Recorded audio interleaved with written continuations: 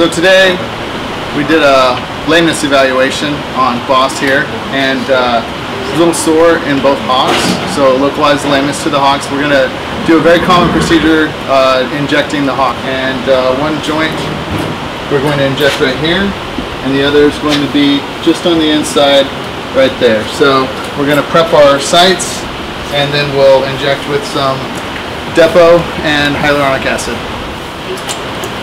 So right now we're going to do, we're scrubbing uh, with uh, betadine and we're going to put uh, three scrubs on um, and over a period of 15 minutes. The most important thing about scrubbing is the contact time to kill the, the surface bacteria so that when you press your needle through you don't carry any bacteria into the joint.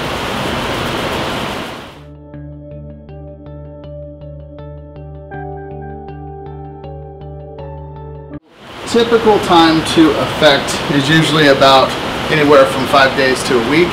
Sometimes it takes more, a little bit longer or less time to see an effect, but usually about five days to a week, you're going to see a response. Especially if you're using steroids like what we're going to use today.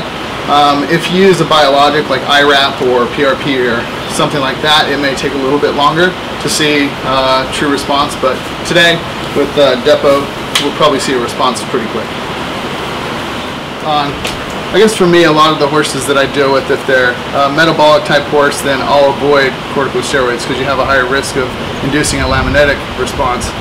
On a, on a say, a or metabolic insulin resistant horse, um, you know, using a steroid versus a biologic. So it's a lot safer to use a biologic in those senses. Or if a horse is, doesn't uh, doesn't respond to corticosteroids anymore, they've got chronic arthritic changes and they're not responding to to, to uh, uh, glucocorticoids anymore, then I'll use a biologic such as IRAP or PRP or ProStride. Alright, so this is just, we've got three good scrubs on there. We're just going to let this set. I'm going to get my, my injection stuff set up and then we'll treat them.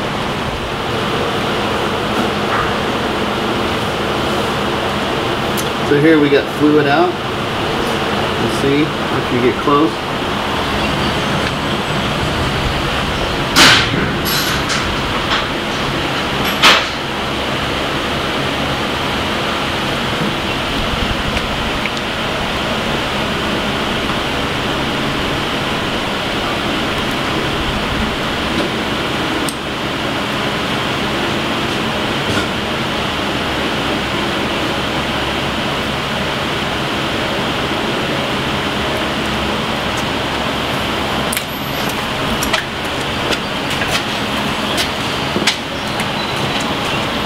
So we're in good position. I'll go ahead and hit the other, the other side.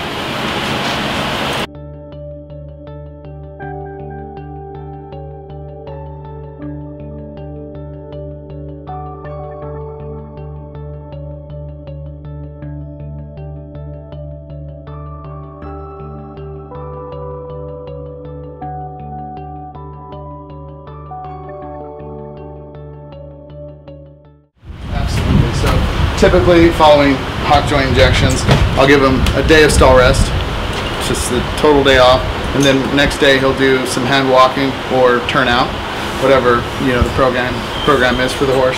And then uh, on the third day, um, just tack walk, nice little tack walk, um, or a second day of hand walking. And then uh, fourth day, get on, move them around a little bit more. Fifth day, they're going into light work and you know, usually by one week they're back into full work. If they if they require hock injections or any type of injection sooner than at six months, then you might ought to look into doing something else because you can really do some detriment if you get over aggressive with treatment, intra-articular treatment with steroids. So that's where some of the biologics come into play. Um, you know, some other other types of uh, medical management for the cases.